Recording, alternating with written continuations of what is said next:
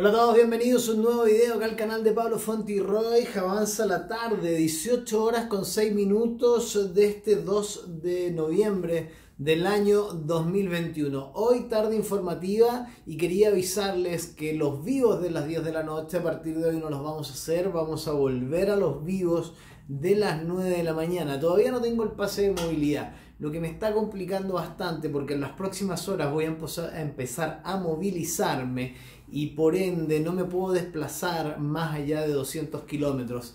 Así que es bastante complejo, voy a tener que hacer volver a los vivos a las 9 de la mañana. Hoy ha sido muy, muy, muy, muy, muy informativo. Te invito a suscribirte al canal, es importante que lo hagas. Te invito a dejar tus comentarios para yo posteriormente leerlos, eh, ponerles un corazoncito y contestarte en la medida de lo posible. Em, y también te invito a compartir y editar estos videos y compartirlo donde quiera que tú lo hagas. Atención con esta información porque viene desde China.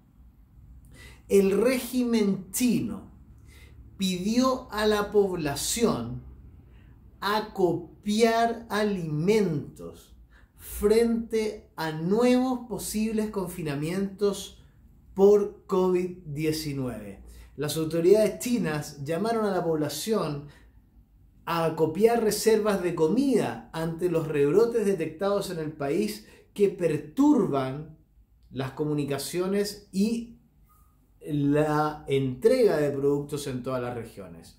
Un aviso publicado en la web del Ministerio de Comercio eh, la noche de ayer dice textual, Invito a los hogares a almacenar cierta cantidad de productos de primera necesidad para hacer frente a las necesidades cotidianas y a casos de urgencia. El ministerio también invocó a las autoridades locales a facilitar la producción agrícola y las cadenas de suministro, a vigilar las reservas de carne y verduras y a mantener un control de precios estable.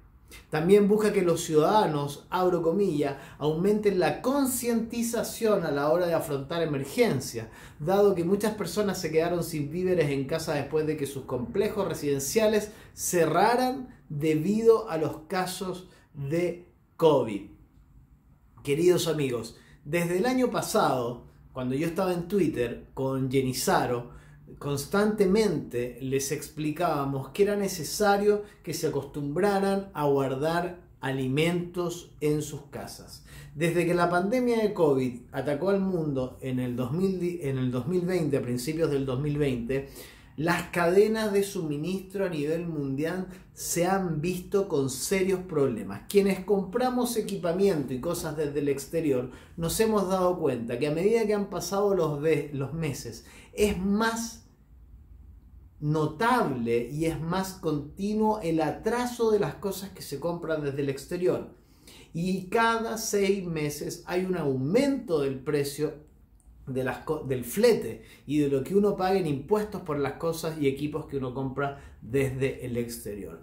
Por otro lado, también hay escasez de productos, mucha escasez de productos en góndolas, fuera de Chile uno se da cuenta, hay mucho menos productos, hay muchas empresas que están quebrando, um, hay poco stock y los precios de las carnes y las verduras han subido de manera considerable. En dos años, una compra que hace dos años atrás te costaba 50, 55 mil pesos para la semana, ahora puedes gastar tranquilamente casi el doble, 85, 89 mil pesos en dos años. Lo que está pasando en China es lo que seguramente vamos a vivir nosotros en el próximo invierno con la variante Delta y con la variante Delta Plus.